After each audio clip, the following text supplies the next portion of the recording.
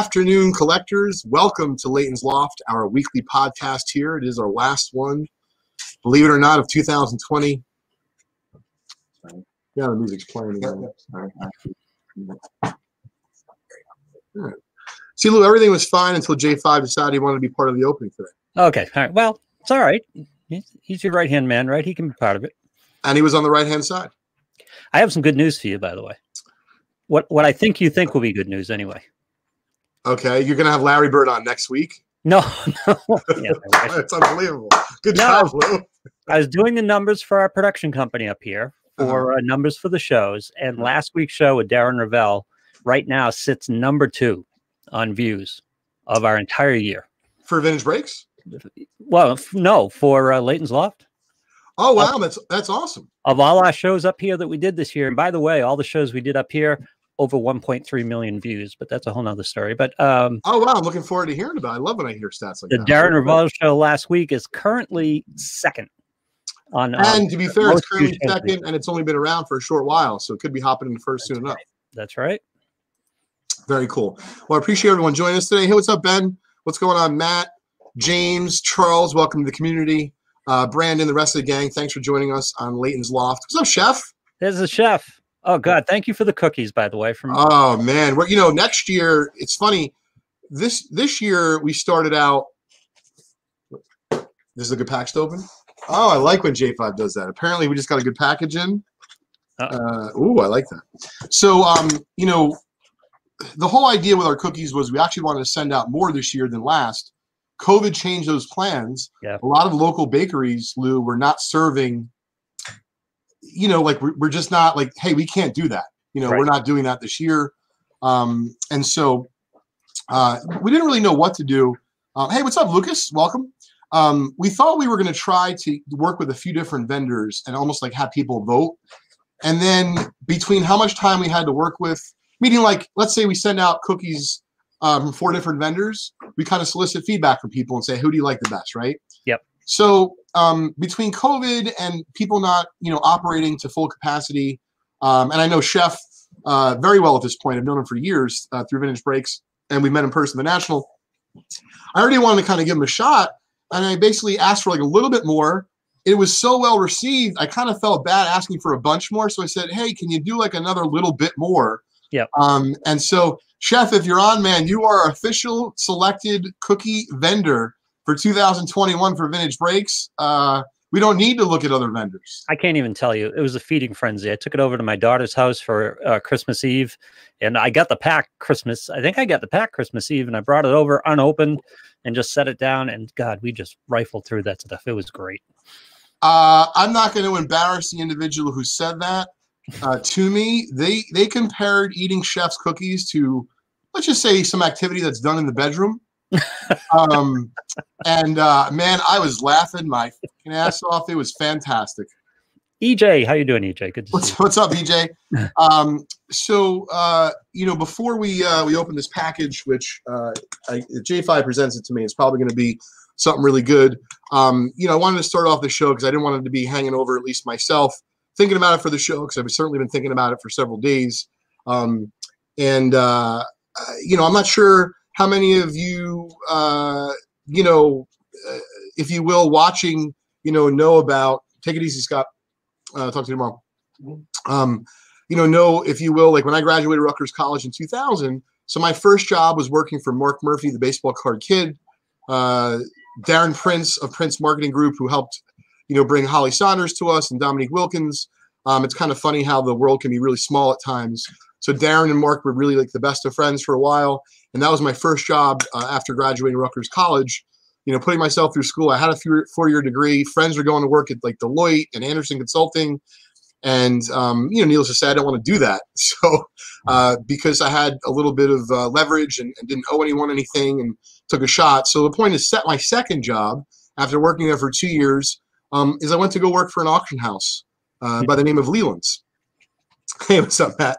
Um, try to watch the uh, spillage of the food, man. These are like twenty dollar t-shirts, but we pay for quality.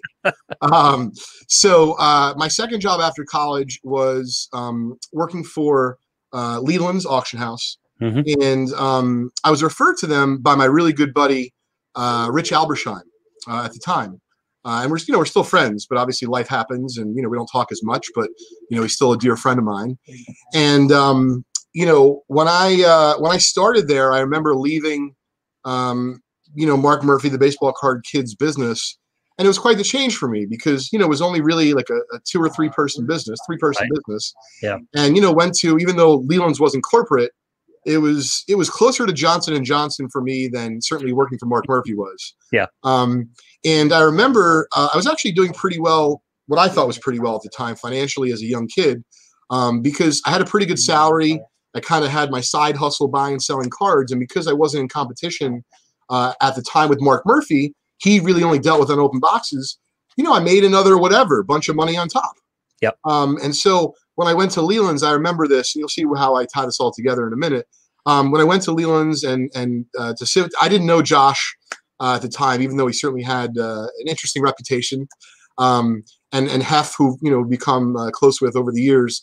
Uh, when I went to go meet with them, I very much treated it like I was, hey, what's up, Jim? Happy New Year. Um, I very much treated it like I was doing an interview at Johnson and Johnson or doing an interview at Deloitte and Touche Business Consulting. And so I remember being very proper and you know all of that. And they're like, well, uh, you know, what do you make now? I was very proud to say what I made because you know I, I was a young kid doing okay, and but I did explain to him, you know, explain to them like it wasn't all coming from salary. I had a really nice salary, but then I also, like I said, I was hustling on the side. So, um, uh, you know, when we first sat down, I very much knew, and I can certainly say this now, all these years later. Oh man, Lou, I wanted to work there in the worst way. Yeah. Uh, it was a step up for me in terms of forget about money. Like I felt more proud to be part of an auction house It's than big, out of like a small mail order company. Not to say working at Marks wasn't great; it was. It was Yeah. just different. Um, that's, that's a big league company. That's yeah, yeah. So when I uh, when I told them what I made, I remember negotiating with Josh. Man, he was he's a real funny fella. Yeah. Um, I uh, I remember being intimidated, but also like never losing myself because like I wasn't trying to bullshit him about what I was making. So I basically kind of said, "Hey, man, like I wouldn't work here for less than X because I'm already making this." Yep. And even though I'm appreciative of the opportunity, so then we hashed out like, well, what can you do on the side versus like, what are you going to be doing at the company and all that kind of good stuff. And uh, I remember leaving there. Um, it was in Seaford, New York. They were already, what's up, Harry? Happy New Year. Um, they were already out of their New York City location, uh, which I wish I was a part of um, because it, it sounded like it was super fun. They were doing live auctions in New York City uh, well before either all or most you know sports companies were. Right. Um, but I wasn't really part of that part, although I, I did see some great stuff. I joined them in about 2002ish or so and, and worked there for four years. Um, but when I when I first got hired, man, like I was so nervous with Josh, you know, because he had like a larger than life personality. yes. And you know, listen, I, I don't try to sugarcoat things. There were certainly ups, there were certainly downs. and Josh but- is a rattler, right? Josh Josh likes to rattle you.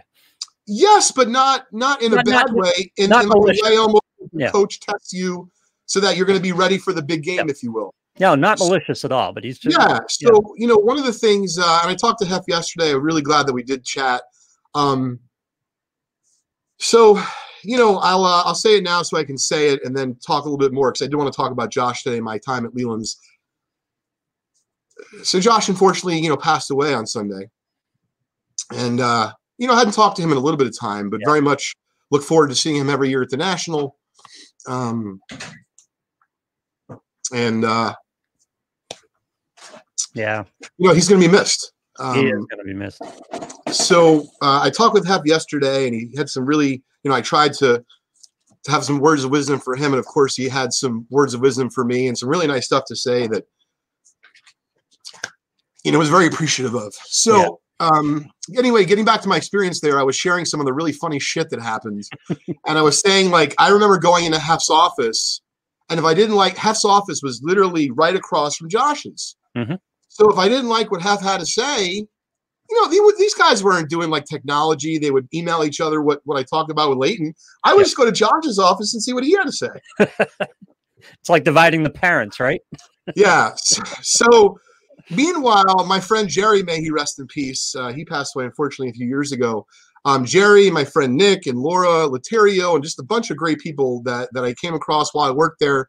Um, and of course, you know Keith and Tom, and and it just it almost it, it really did. It felt like a family, but like a wacky family. Meaning, so I would be in Josh's office. I could hear Hef yelling, Leighton, what the fuck are you doing? I just told you this is what you should do.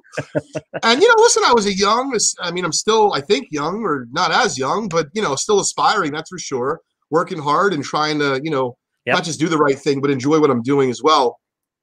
And uh, hey, what's up, Ben? Welcome. Hope all is well. What's up, Antonio?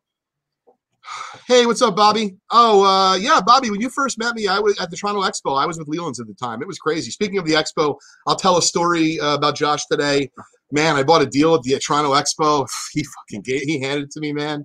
It was, it, but you know, I learned I learned a lot because of it. So, so anyway, to get back to center for a minute, I was going over with Hef. So I'm like, Hef, do you remember? I would go to Josh's office.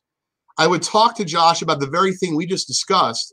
Meanwhile, my friend Jerry was literally hitting a golf ball down the skinny hallway just because you could.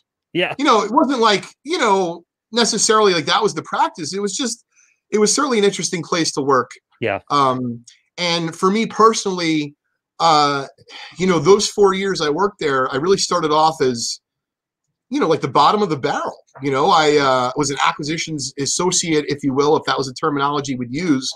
Um, and really, I forced their hand to let me grow and have an office because there were so many packages. I remember Jimmy Callahan, who was our shipping manager. I remember all these guys like it was yesterday. Um, you know, there was so much stuff around my desk, Lou, like you couldn't see where I was sitting. Yeah. So I'm like, hey guys, I need to like get some help opening these packages, a lot of stuff coming in. And so it's just I was growing up, is really what it was. I was kind of cutting my teeth on the auction business. Yeah, but look um, how you carried that forward to vintage breaks, because I imagine vintage breaks is a very similar situation.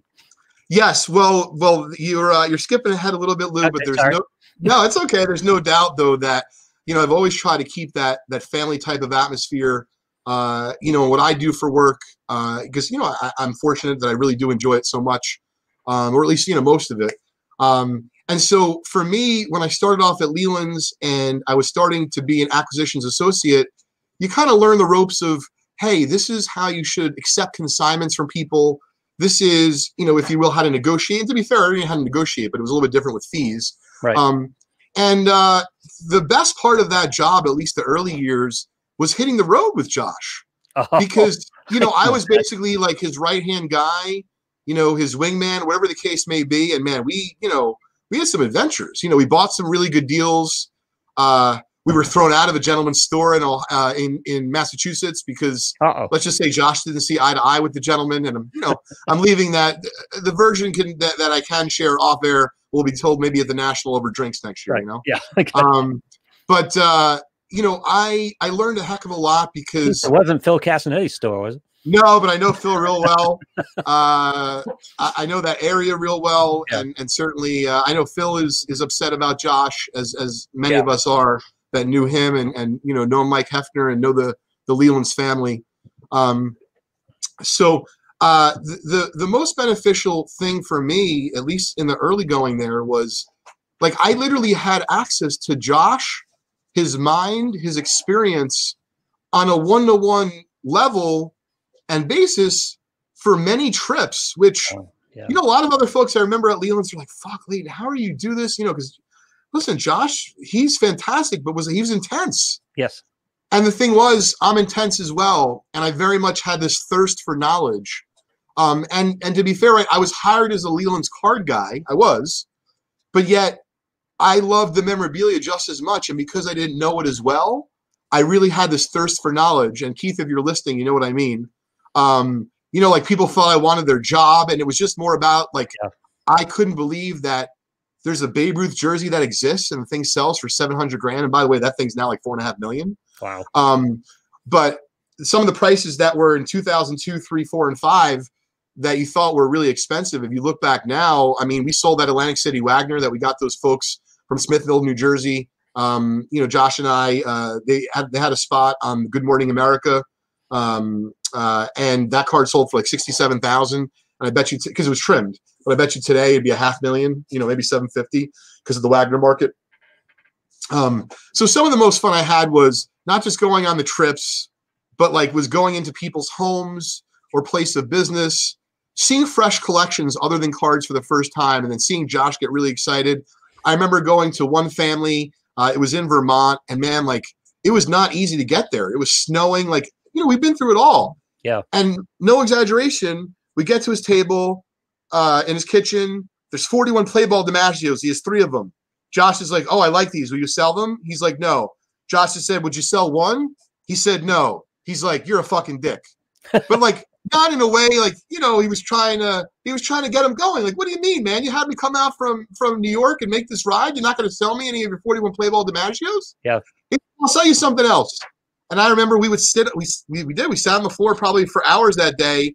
I'm like, Josh, you think we should maybe like, you know, he doesn't want to really sell that much. He's like, no, no, he'll sell eventually. Yeah. Oh, he knew. And, yeah. You know, I uh, I miss those days, but but some of the best times I had beyond that was, um, he definitely made me increase uh, or expand my palate for food. Oh, really? Uh, so you know, I was not one of these you know adventurers of food. So like you know, if we were in the middle of bumblefuck wherever, I'm like, let's just go to you know the diner. He's like, no, I bet you there's a great place here, and I can hear him saying it in my mind right now. I'm like, no, there might be, and I realized there was certainly the internet in 2002, three, four, and five. Right. But like you know, Josh, usually people kind of like like to get recs, you know, recommendations. They asked like the local folks. Yeah. You know, he's like, no, we're just gonna we're just gonna choose a place. And man, I'll tell you, some of those places were, you know, they were interesting to say the least. But then, you know, of course, some of them were the not only the food was great, but the the discussion in the chat was even better. That's the fun of eating on the road. I love eating on the road. Just Yeah. finding those places, getting out of the chains and finding those local places. Uh, so you know, I uh, I certainly you know I value that part of it uh, very much. Um, you know, all the learning that I did through the years. Um, you know, it, even if I had learned it, you know, at a different place or a different time, uh, I just don't think it would have been the same because Josh just had a, a personality that, I mean, he used to say, he used to call everything the stuff. You know, he loved the stuff, and he did. You know, he loved things that were three bucks to 300 or, you know, 3,000, you know, whatever the case may be. He just liked Um, the game. Yeah, you know, very much so. And uh, you know, when I was talking with Hef yesterday, um, you know, I told him on Monday night I left the office and I pulled over and kind of like lost it. It all hit me. Um, you know, so I texted Hef and I, you know, I basically, you know, I don't want to impede on his privacy and just wanted to let him know I was thinking about him. I already texted him on Sunday as well. Yeah. Um, and and so you know, we ended up talking yesterday, and you know, uh, I said some nice stuff that you know certainly you know, you don't always know, right, what everyone's thinking or feeling at the time. And so, you know, I just said to Hef, hey, I appreciate the kind words and certainly loved my time there very much. Um, and you know, Hef is out in PA, and instead of like waiting in the in the distant future, yeah, I'm going to get out there, and you know, we don't we do some business, but we don't do a lot of business, and it's not about business. It's about going out there and he's got meticulous taste, and his son's now is like 22, 23, which is about the age I was when I started working at Leland. So it was uh, it was certainly a great time there. Um, and uh, you know, when I left there, I left there with the confidence to start just collect, even though we've shifted gears, you know, many a time. Yep. Um, you know, Leland's was I, I- remember saying at the time I was very proud. They were like my first big consignment client because when I left Leland's, my idea for Just Collect was a bulk of the business was going to be addressing the long tail of the sports collectible and card business, uh, meaning you know we were going to handle consignments for people on eBay. This is well before the PWCCs and the Probsteins of the world. You know, uh, myself and my former partner Scott Greenwald um, and my buddy Larry. Uh, you know, we started it, and uh, I, I certainly wouldn't have done that. Um, I don't believe without my experience at Leland's. Yeah, it, Josh was a great guy, and I had limited experience with him, but you can tell there are guys right away go, God, I'd love to have a beer with this guy. Or we get to the national, I want to have a beer with this guy. I can't imagine doing a road trip. That would be great because look, I'm a New England boy, and Josh talked New England. Josh uh, would go at you in a very, Very much. and jovial way, and when he was hitting on you, you knew he loved you, right? You know, you knew you were in. It was just one of those things, like big brother type of thing going on. You know, uh, very much so. Um, you know, a combination of like Big Brother and then mentor. Yeah. And I remember he always had this thing about me, uh, and and like you know now listen things are different, but I- I remember he he recognized this, and and for me I just kind of did it, whereas like I kept my head down and and candidly I was real happy. I was making a bunch of money. I was a young kid. Uh, I certainly didn't realize I had, you know, no responsibility, but I now know that I had no responsibility. um, and uh, you know, he like in some ways helped me lighten up. In other ways, helped me smell the roses. Yeah. In other ways, you know, helped me understand sports memorabilia at a really high level where I was able to go out and buy for them at some point, you know, a few years after I started, and I would buy items for their auction and you know see it perform really well and make a bunch of profit for the company, and I was real proud of that. Yep. Um, and, Well, uh, and it- when you create a team environment, you get invested, right? And you, you want to do well for everybody. And it's like that's always the best place to work. Yeah, yeah. So you know, we uh, you know, we certainly had some you know some fun times there, and um, you know, I'll I'll finish up the the stories uh, uh, in a minute. One of the things that that Josh and and Leland's taught me uh, in terms of the actual like mechanics of buying and selling was this thing called the buy show. Uh, and what a buy show is, it's really like an appraisal slash buy show. You set up at a hotel, you know, out of town. You advertise in the local newspaper, and you know, I remember thinking at the time when I was doing it, I'm like, this isn't that fucking hard. I can do this super easy on my own. Yeah. And of course, I remember trying it a few times on my own. Beyond the money, the risk, and everything else, like it's a lot of work. Yeah. You got to sit there for the few days. And I'll tell you, what's up, Bry? I, uh, you know, I, I remember Josh asked me to do these buy shows, and you know, people in the office are like teasing me, like, "Late, you're going to work all weekend." I'm like, "Well, yeah." I'm like, "Bet your ass, I'm going to be getting free meals and." you know, maybe I'll get a cool piece of memorabilia or a bonus, you know, whatever. I, it, to me, it wasn't all about money. It was, I, I, I very much looked at it as like almost like graduate school. Sure. You know, I was getting paid and I was also learning uh, a lot about something I really loved. Um, and uh, yeah, Bobby, we'll bring up the Toronto Expo in just a minute because I had a story about the Toronto Expo about Josh as well. Uh, and so, um, you know, it was. Uh, it was it was interesting because I didn't know what to expect. And what they are, Lou, is you go to these hotels, you advertise you're offering free appraisals, and people come in and they offer things of all shapes and sizes. And most of it you're not going to end up buying for one reason or another. Right. But it's it's real, man. It's live, and like you want to talk about Pawn Stars? Like this was the real fucking Pawn Stars. Uh, meaning people brought their stuff in. Josh had his own style. God, you may rest in peace. I had my own style, which I remember him yelling at me for. and you know, listen, the, the thing about Josh that I really liked is like when I would stand up to him, but in a way like that was positive or or good. He didn't give me shit for it. He, you know, appreciated I was learning, and and and and so basically, I said, "Hey, man, if you want me to be good at doing this, you can't. It's not like catching a football, right? When you interview people and you look at their stuff, whether it be baseball cards or signed baseballs or heirlooms from their grandparents, whatever the case may be, like you have to connect. And so Josh had his own way of connecting, and then I developed my own way of connecting. And what I'm proud to say is that my way of connecting, not only did we make the company a bunch of money through the years doing it, but like after a while, I just did buy shows on my own and I brought someone else from the company, you know, with me. Right. Uh, and you know, we uncovered some great stuff in those days. 1966 Topps Batman cello box, uh, almost fully unopened, I means like 34 of 36 packs. Uh, in the middle of uh, Pennsylvania, not too far from the old Topps factory in Duryea. So I mean, you know, some wild stuff. And then I saw like the instance of Josh is just like losing his mind, where like some I didn't know comics that well. I don't still don't know comics really great, but I, I know them better than I did back then. So some and Josh loved comics. so people would come in and Josh would give the appraisal. You know, it was fair, and you know he'd make an offer, whatever the percentage may be. The folks were like, you know, I don't really want to sell. And you know, for me, like maybe I would try a couple times, and if not, I'm like, well, here's my card. You know, Yeah. give us a shout. Let me get your info because I always knew to get their info. Um, you know, also, um, and uh, man, there was a few where let's just say Josh would get fairly emotional and get attached to whatever items he's looking at. Yeah. He's like, I'm willing to pay you more than they're worth. And this is, I mean, I got to tell you, and may, like I said, may he rest in peace. But it brings a smile on my face. Yeah. That's when I would. Well, that's when I would sit back in my chair, Lou, and I realized, man, I was in for a show. Yep. And I just took it for what it was worth. You know, sometimes he would get him to sell. Sometimes, oh man, there'd be like a fucking scene. I gotta ask you. I gotta ask you. What did Josh not like about your approach? What What were you doing that he didn't like? Oh, he I can tell you exactly what it was. Yeah.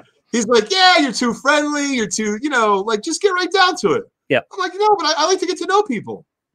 Um, and his thing was like, yeah, you'll get to know more people if you talk to them faster. I'm like, this is what I told him. I said, you should get someone else to do this then. Oh yeah. And I did it with a smile on my face. I'm like, here's the thing, dude, I can't do that. It's funny he Um, would do that though, but he was efficient about it. I understand. I, I think I understand where he's coming from. Oh, very much so. And to be fair, ask Sam and J5. I could talk pretty fast. Yeah.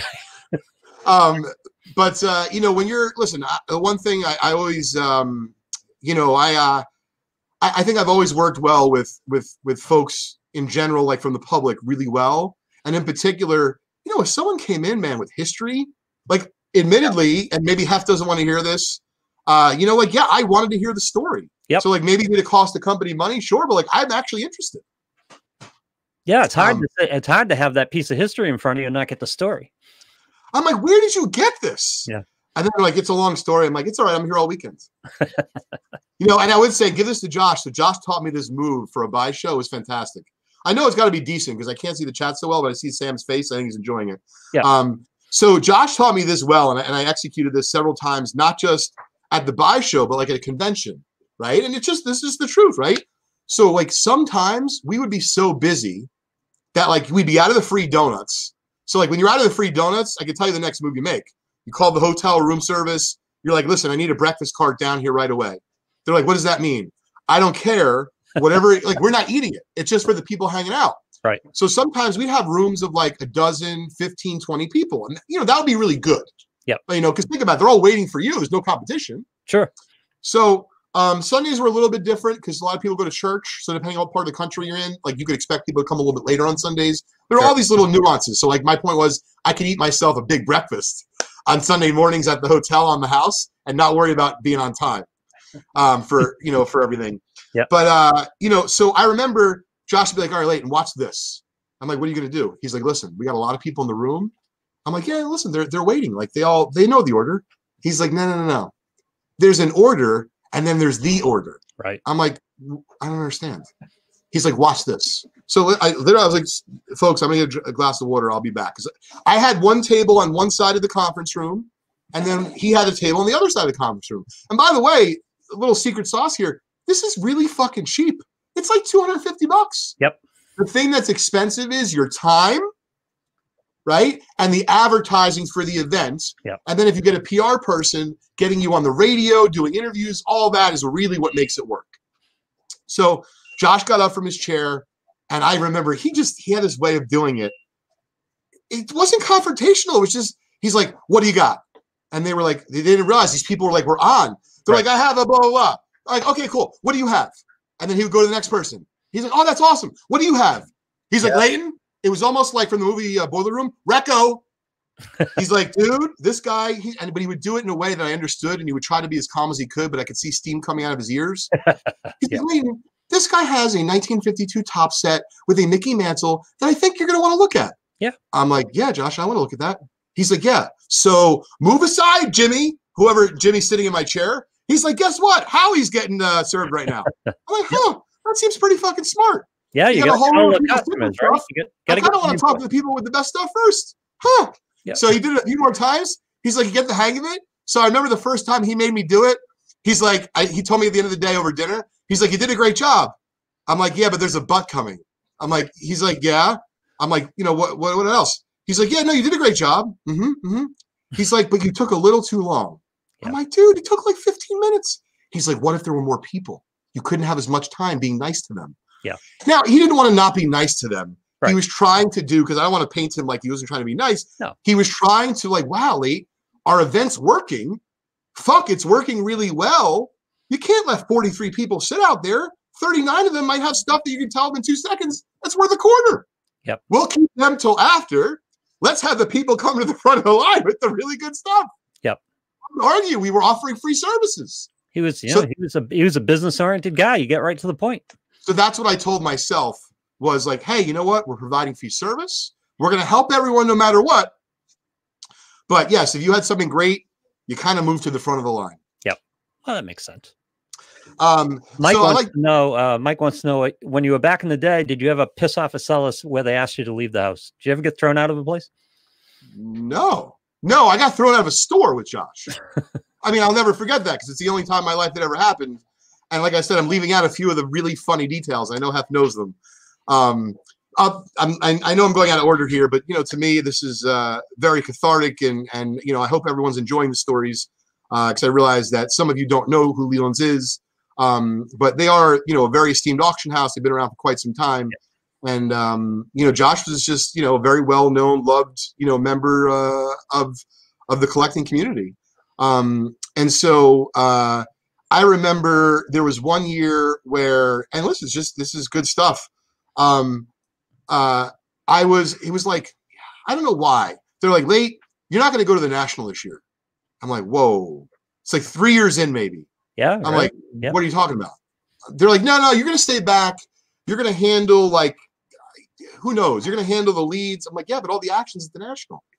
I don't know if they were mad at me. You know, who I really don't remember. Yeah. But I remember this. I'm like, there's no fucking way I'm working here anymore if I'm not going to the national. Yep. So what I did was, I'm like, oh, I know what to do. I'll pretend it's my own business. Let me show them why I should go to the national.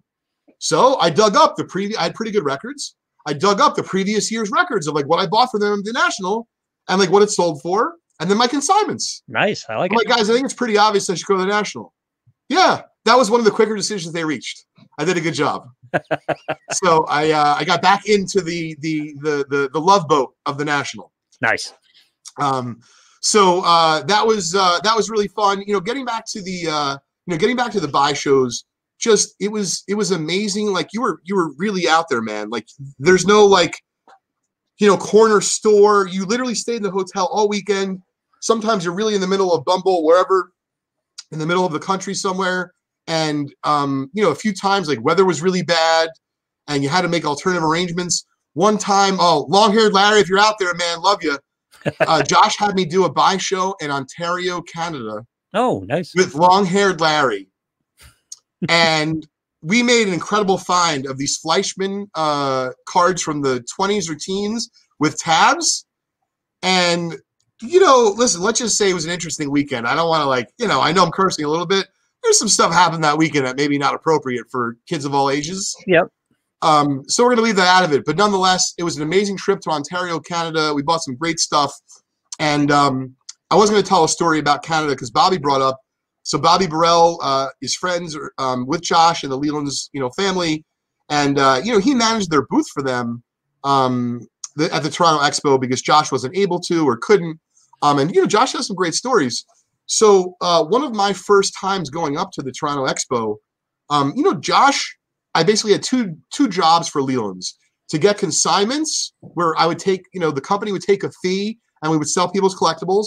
And then sometimes people just want to sell outright and we would buy from them. Right. So I remember going up to uh, the Toronto Expo and there was a card deal. And, and, you know, Josh knew a little bit about cards. And even though I didn't know about, uh, I didn't know as much about vintage cards back then as I do today, uh, I certainly knew a bunch. Right. And uh, we bought this deal. I remember going over with Josh and just I mean he killed me. He's like, this is just a terrible fucking deal. Why would you pay this? And so I'm like going through it. I'm like, no, no, you're not understanding. This is gonna grade, you know, this, this is gonna grade that. Yeah. He's like, and I remember this. He's like, but what what if it doesn't? I'm like, huh. Well, it maybe would grade a little bit lower then. He's like, yeah, would you have paid the same? I'm like, no, not necessarily. so I'm like, huh. So we're going through the whole deal and I mean that wasn't the only time, but it certainly it, it taught me about how to value a deal in a profitable fashion to still be fair to the seller, fair to the buyer, right. and not all deals work out. But you can't buy deals where you're going to lose money because Right. yes, then you'll buy all the deals, but then you can't pay people to work for you. Now we're all familiar with Pawn Stars and things like that, and they they take a commercial break while they get an expert in, take some time to do what they need to do. At these shows, how do you do that? What how do you authenticate? How I do can tell you exactly what I can tell you exactly what we do. This is like the most fun part of the buy show. So we knew kind of collectively. Sometimes there'd be three people that would go. We knew what our skill sets were. So making it up. If I'm meeting Mr. and Mrs. Smith and they live down the street and they come in with a bunch of stuff from Howdy Doody and autographs and baseball memorabilia. Right. Hey Josh, let's you take over this. I think you're going to do great with Mr. and Mrs. Smith. It's right up your alley. Because I would know it's not up my alley. Right. I got no one else to go to. So if it does, Josh doesn't know it, like we're shit out of luck. Contrarily, if Josh had someone with cards, uh, wrappers, anything card related, he was just like, "Nope, that's the card guy. Go to him. Go Yeah. to him." Yeah. Um, and then grading back then? Were you were you that on the spot? In other words, if you said that was going to grade out an eight, how'd you do back at the? Well, I mean, I would tell you I've improved. so, you know, hopefully I didn't cost Leland's too much. Yeah. Um, but uh, I would say I learned how to be um, good at buying. And then, you know, and we do this quite often at Just Collect. If we bought something super expensive, Lou, I was always very creative because I wanted it to be a win win for people. So if someone had a making it up a Mickey mantle and they didn't want to sell it, and they're like, you know, I want to make the deal with you, but I don't know if it's a six or a seven. It was a big difference in price. Right. I would draw up, and this is before I even met Julie, uh, you know, who's a you know my wife and also an attorney. Um, like I would just draft like a very crude contract. Hey, if it grades this, we'll pay you this. If it Oh, grades this, conditional deals. oh yeah, even back Oh, then. Oh, Listen, they didn't keep me around for my good looks, you know, at Leland. I was I was good at something. I like it. Yeah. Yeah. So I was good at deal making and, and connecting with people. Um, so anyway, so we go up to Toronto, and I mean, like this deal, it, it wasn't 700 bucks. It was like seven grand or like 18 grand. It was it was not chump change. And so my idea was like, hey, well, we're gonna take all the cards and we're gonna grade them and break it down. And he's like, Leighton, did you think maybe you should have talked to me about this stuff before? I'm like, but you had me do the deal. He said, yeah, but we don't sell cards for like $27 here. Yeah. I'm like, huh, I guess it's a really good point. Yeah. So like, let's just sell them in a group. So then I remember he was being a dick, but trying to teach me a lesson. Yep. So he's like, Leighton, when you sell them in a group, you think they're going to sell for $27 each, more or less? And I go, huh, I think they're going to sell for a little less. Yeah. He goes, a little? They might sell for 35% less. I'm like, well, I don't know. Maybe they will. He goes, so do you think you should have paid more for the deal or less? I'm like, well, I guess I see your point. So I learned. Yep. I learned when buying ungraded cards, you can't always pay for what may be or what can be. It's like if you want the cards graded, get them graded. If you but- don't, this is what I can pay comfortably. And if you have something super expensive, like we'll do it some tiers. Yeah, but we all know how he gained that wisdom by making Yeah. the same deals. Oh, absolutely. Yeah. Listen, there's no doubt in my mind that like at the end of the day, Leland's paid me. But if you had to say to me, like, would you have done that again and paid and like worked there as like an internship and that was like your grad your po- your grad school? Right. Oh man, of course I would have. I, I love that. that. It was fantastic. Real Um, world education, right? oh, man, we went on trips together, like as as a group at the company. You know, we had some wild times there, man. Um, you know, we really did. So, uh, you know, I know I've been talking for a while. Wanted to cover some other stuff, um, but uh, you know, I did want to say that um, you know, not only did I do I miss my time there, but you know, it was really nice to get on the phone with Hef and reminisce and you know talk about like you know what what you want to try to do moving forward. And so, you know, certainly. Uh, you know, everyone in some capacity has has had to deal with something in 2020 Yeah. that they didn't have to deal with. We'll say that, right? Yeah. And so it's about it's about how you you move forward. And uh, you know, for me, um, you know, I'm trying to be a little bit better about, you know, not like working 23 and a half hours in a day and saying, hey, I haven't caught up with my buddy Liddy in too long and, and fuck it. I'm gonna take some time out of the day and, you know, text Hef or tell him, you know what, man, I'm gonna come down to PA and I'm gonna take off half a day. And you know, even if we do no business, you know, uh, we'll shoot the shit and catch up. It'll be fun. Um, but you know, Josh, I'm definitely gonna, uh, I'm definitely gonna miss you. Um, I missed, you know, the camaraderie of being, you know, part of that that Leland's, you know, team. Yeah. And uh, you know, beyond just, you know, for for me, I haven't been able to, to come up with the words yet to to say something on social media. Uh, I did call my buddy Rich Albersham the other day. I didn't connect with him, um, to, you know, to talk about it because I remember there was like a finder's fee for getting me hired there, and I'm like, a finder's fee. I'm like, I didn't realize it was a valuable commodity. Yeah. And Josh and, and Rich, I remember for years, like, you know, did I get paid the finder's fee? Not me. Did, did Rich get paid? Was, there's a lot of great stuff, but uh, um, Yeah. certainly had a, a wonderful time there. And uh, you know, I'll say this last story. It's uh, it's just funny, um, and I, I I tell it because you never knew what the days would bring at Leland's. Yeah. So Josh comes in one day. This is in Seaford, New York, um, and uh, he had some sushi. And his sister uh, Andrea was working at the time. My buddy Nick and Simeon Lipman, who's been on Antiques Roadshow. So he comes in with some sushi, but it's not like your regular like sushi roll. You know, you share or whatever. like literally had a kit. and so, you know, I'd never really made sushi, Right. but I remember the fucking fish was in his hands and Oh. the knife wasn't working. And he was trying. Yeah, I see your face, Lou. Yeah. So he's looking at me and Nikki, and he's like, "You boys want some sushi?" Fuck no, I don't want your sushi. And Simeon, who had like the the biggest sweetheart deal in the world, worked there like a day and a half a week. You know, we rode the train together from the city. I was working in, I was living in Manhattan, man, in the village. I couldn't have been any happier, man. I'm, Yep. I'm working for an auction company. I'm living in Manhattan. Like I'm a young kid. Yep. I thought I had it made. Simeon was like had it made times 10. He's getting paid more. He works less. Yep. He somehow convinced people he's on the Antiques Roadshow and he's like the man. And by the way, he is the man. Yeah. So meanwhile, the reason why I bring up Simeon, so we're all sitting in this crowded lunchroom. I'm gonna play this part for Nick later because he's gonna fucking die laughing.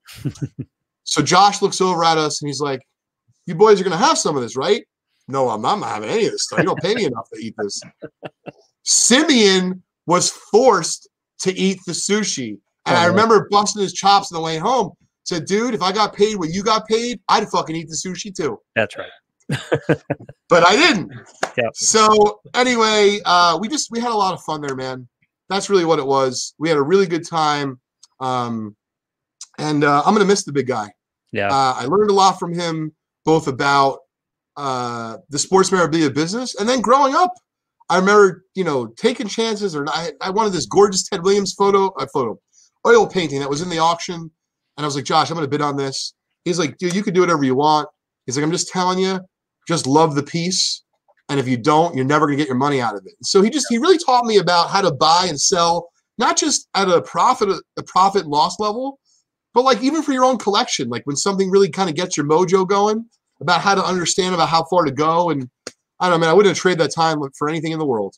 That was one of the companies that was part of the nuclear fission of this industry, wasn't it? The hobby about about Oh, very, very much trying to so. get into big business. Very, very much so. Yeah.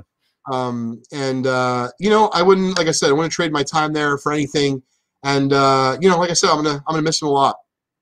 Uh, and I know a lot of people in the industry and his family. You know, the Leland's family, and of course uh, Maxine. You know, his mom is still alive. Uh, his dad Stuart passed away a few years ago, Mhm. and then Andrea, who lives in now uh, Maine, believe uh, I believe now she lives in Maine. She's involved in the antique business, and so I know everyone is. Uh, you know, saddened and, and doing the best they can. But I want to talk about him a little bit because I, I do have some, you know, really fond memories of, of him, and I thought it'd be uh, appropriate to, to, to discuss today. He's a big and bold personality. I liked him a lot. Yep. So uh, rest in peace, Josh. My uh, thoughts and prayers go out to your family, and uh, you know, thank you for everything. Very good. Um, so getting back here to uh, you know Leighton's Loft, our weekly podcast today. Thanks for uh, listening to those stories about Josh Evans and uh, the Leland's family. I hope you enjoyed them. Um, we still have a few minutes left in our show today. We are still going to do a participation promo. It is our last one of the year, and um, what I thought would be really cool is to give someone a nice big first prize. We're gonna give away a hundred dollar break credit to VintageBreaks.com Very where nice. by the way if you spend that 100 bucks before tomorrow night um, if you spend it at once you'll be in our $100 promo. Where you have a chance to win 1500 a lot of great stuff going on right now on our website. Um, the six other prizes dougie we're to give people a free spot in our 1966 Topps baseball set break. Um, i did want to cover a few other things. Um, this barry sanders uh, autograph card which was sent to us directly from barry sanders agent uh, Monty was helping us work with Barry. We're trying to um, secure Barry Sanders for a vintage breaks Ooh. um, athlete experience. Can you see this card, Lou? Am I showing Yeah. it? yeah, no, it's great.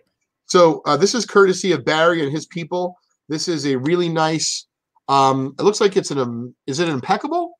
It's an impeccable Barry Sanders, um, and we're going to give this away uh, on Twitter uh, in the coming days. So stay tuned and follow us on Twitter. Uh, what's our account on Twitter? At Vintage Breaks. at vintage underscore breaks. At Vintage underscore Breaks. So uh, make sure you subscribe to our uh, Twitter uh, channel and follow us. So that way you'll have a Will chance. be to in visit- on the uh, Barry Sanders uh, vintage breaks experience? Uh, I've missed a couple recently. I I don't want to miss Barry Sanders. Oh, so so last night was more of like a hangout. That's why Yeah. we didn't really call you. Barry Sanders, Lou, you're our guy. Believe Yeah. me. Excellent. Now you might have to fight Monty because Monty is a Lions fan and he doesn't really have much going for him. So uh, you know, we figured we're gonna have to try to involve him in a Barry Sanders break if it happens. Um, special shout out uh, and thanks to Matt LaCosse last night. Um, you know, part of the reason why we didn't have you, Lou, is because it was really a little bit different than usual. Yeah. We just kind of did it as we didn't even know how much stuff we were going to open. We did just personal breaks, and uh, you know, his his wife and daughter kind of got caught out in the snow, so we had a little bit more time than we thought.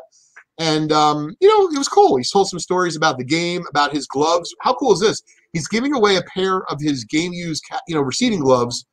And he, he told us an interesting fact last night.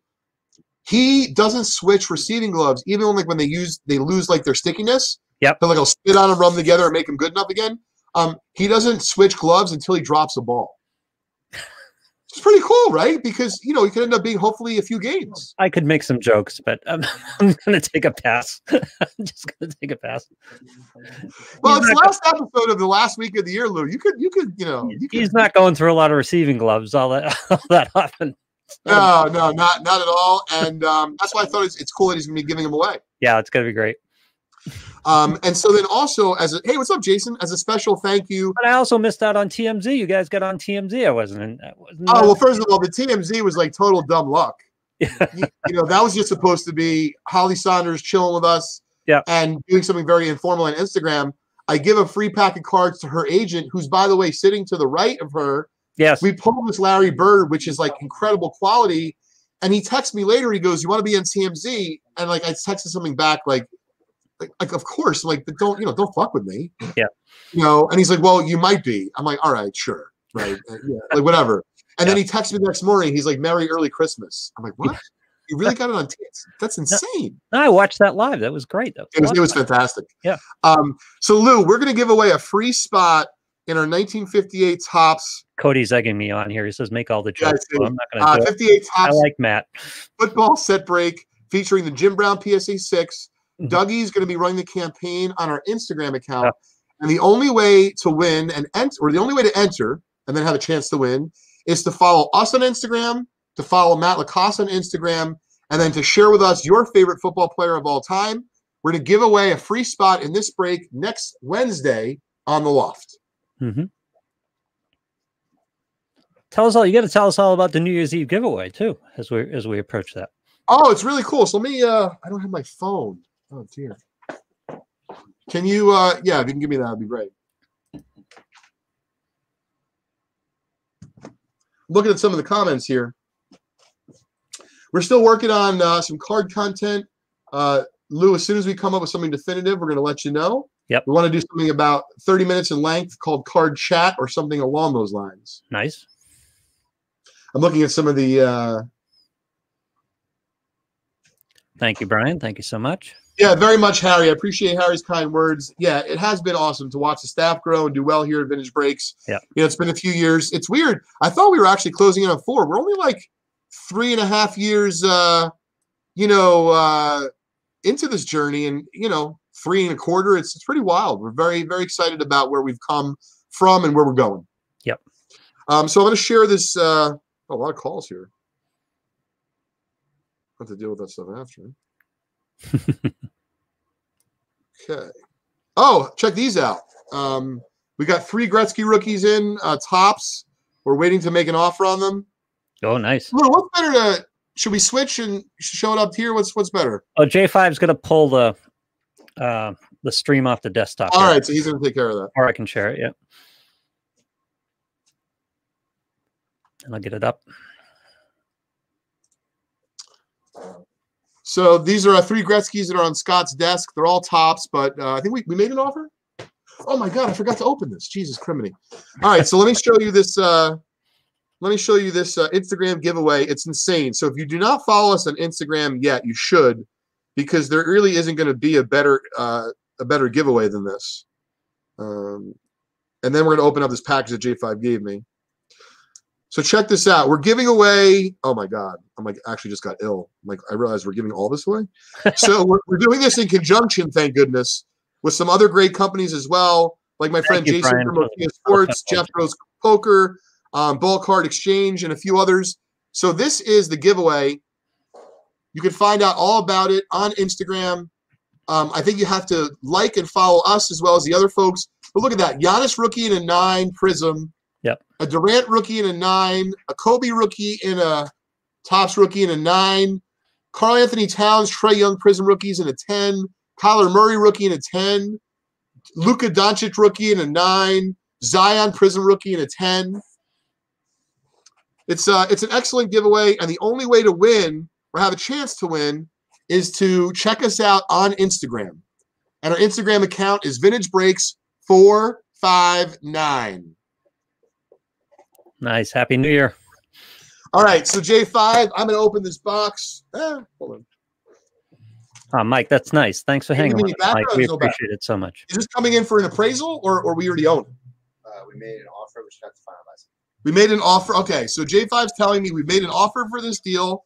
We have to finalize it, Mhm. and he's telling me it's worth opening. So you have no idea what's in this box. I assume it's cards. That's about as far as I know. Okay. To be fair, if it was grape Swedish fish, I wouldn't be upset. Jeez, I could have had that. I, I could have guessed cards. Yeah. Instagram, Donald. You got to go to Instagram. That's Yeah. very cool, Mike. I'm glad we got you back into collecting. glad that you're enjoying it. Oh, mother of this is fucking awesome. I know exactly what this is. Um, I know it now because we talked about this deal the other day. This is insane. All right, excellent. Do we know the background? It was a drugstore. Uh, yes, it was a toy store. It was a toy store in the 1950s. That's all I can tell you. Uh, that's all you know. That's all I can tell And you. this was leftover stock. Yes. But how did it survive? Like, was it put in a time capsule? Uh, she kept it. She kept it uh, just away. But she inherited it, or it was her originally? It was From her father's. it was her father's. Yeah. It was just in the back room somewhere. So this is the only thing What'd you say, Lou? It was just in the back room somewhere at the store. I don't really know, but I can tell you this: if it's what I think it is, and and they're real and legit, very exciting. Now, normally we wouldn't show something like this off because there's a bunch of quantity, but it doesn't even matter. Yep. Like they're so cool, it's irrelevant. So now, you, can- uh, Lou, we're seeing this on the screen, right? Yes. All right. So for those of you that don't know what we're looking at already, let's move the bubble away. This is a Topps Hobby Card Cello box. In fact, it says Trading Card Guild on it. That's what Topps was originally named, you know, back in the day, or like that's what they use in their advertising. And these sold for 10 cents a pack, whatever these are. Mhm. Wow. Very, very excited, J5. That's crazy. Crazy. Do you know how they found us? Anything? Yeah, she found us online. I know, but you know, I what did I pay this guy for? I uh, don't understand. Yeah, she found us online. She wanted to see if we were interested. Her local, the local stores that she sold everything else to, like toys and stuff. Um, I'm like, if she had other cards, and I, I'm like, no, I like no, almost no just broke cards, my heart. Uh, Okay. they just didn't know how much to offer. Oh, So, they so J5 was saying that there was some other stuff that came with this, like toys and things of that. So what was it? A five and dime shop, or was it what was it? A soda pop shop? it Or was a toy store. oh, it was a toy store. Toy store. So these folks owned a toy store. Yep. And uh, the woman's father, I guess, owned a toy store, and they had some leftover inventory. Cody's trying to get me to help him move. I don't know. Should I go? Should I go to Vegas and help him move? I would go to Vegas and just you know hang out. Uh, stop teasing us. All right. Now there's two types of products in here, right? Yes. Okay. Yeah, What? Rocco, exactly. Stop teasing. oh, beautiful. So these, oh my goodness. oh, they're These- unopened. they're unopened packs of 58 Topps Zorro. Oh my god. Like really, really hard to find. Really hard to find, man. To give you some perspective, like nines and tens from this set, nines go for hundreds, tens might go for 500 or up.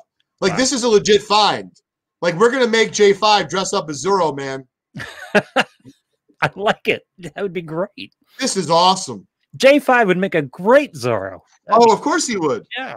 So if we only bought one pack, I would be happy. Yep. Here's the deal. There's a bunch of them. and isn't there one other kind of pack in here? It's at the bottom. Oh, it's on the bottom. All right, I'm not going to disturb. No, you gotta show it. No, you Yeah, can't do that. Yeah. Dig. Oh my god, these are just cool, man. These are really cool. Ball breaks I want you to break them. Not tonight.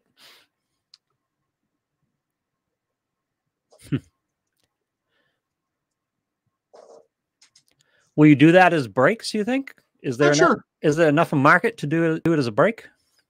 Haven't really considered it yet. Just know it's cool. Yep. James says J5 was already on his horse. Yes. Three cards in a pack. Uh, there should be 12 cards in a pack.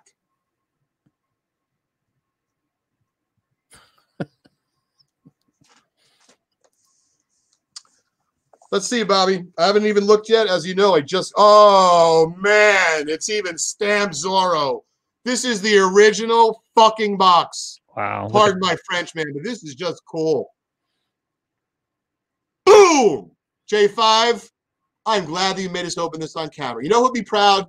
Josh. Yeah. Josh loved non sports. He's been collecting non sports passionately for the last several years, and he would enjoy this thoroughly.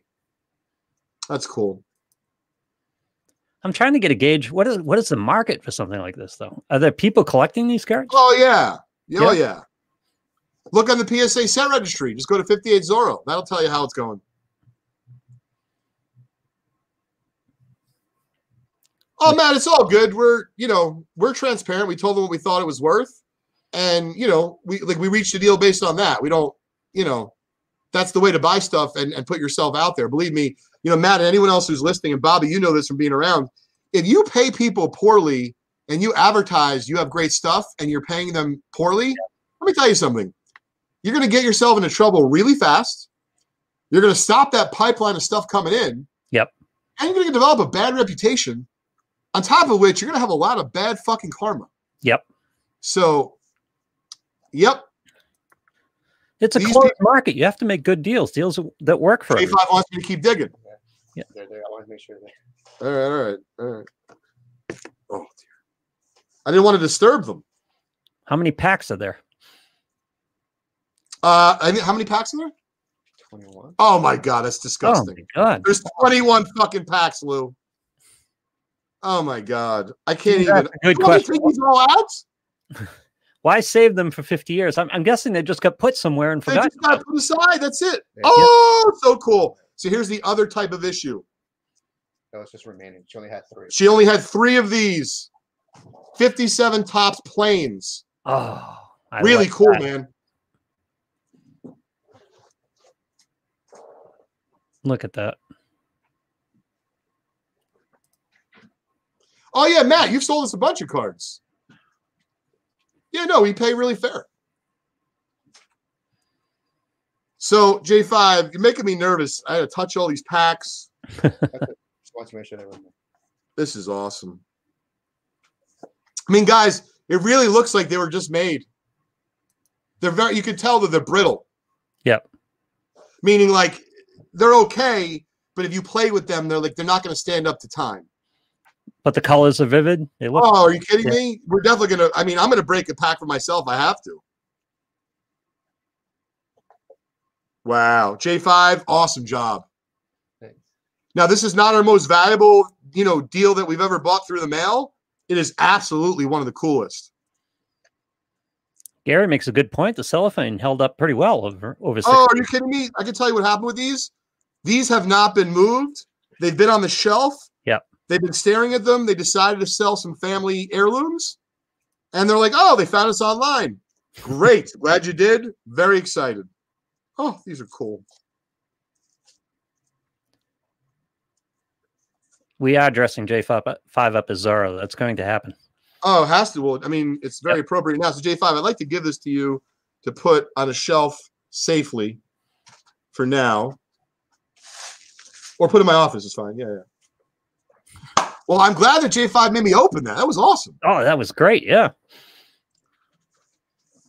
I love So- how you, I love how it came in. The whole thing happened. And you really had not much idea what was going at all, going on at all. No, I didn't. Well, because you know, I'm not in every day, and I, you know, we actually we got a bunch of stuff going on now. Sure. Scotty's back, our VP, and and you know, the funnel's being filled up, and there's a lot of action happening. People are dropping off, shipping in, and so there really it's there's you know it's a lot of juice, a lot of action happening. So uh, we're certainly thankful for it and excited.